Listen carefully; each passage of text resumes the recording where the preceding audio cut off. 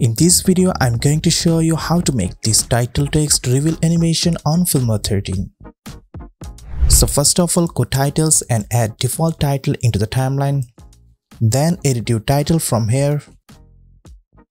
Change font and size as you like. Okay, after that, select your text and go video section. Then add a keyframe in position then go 30 seconds later. Then add another keyframe on position. Then go first keyframe and set your position like this. Then go to the keyframe panel and select this keyframe and select ease out from here.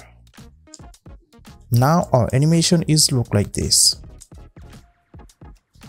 Then right click on this and go create compound clip and rename it and click OK. Then go to the effect section and search crop and add crop effect to this.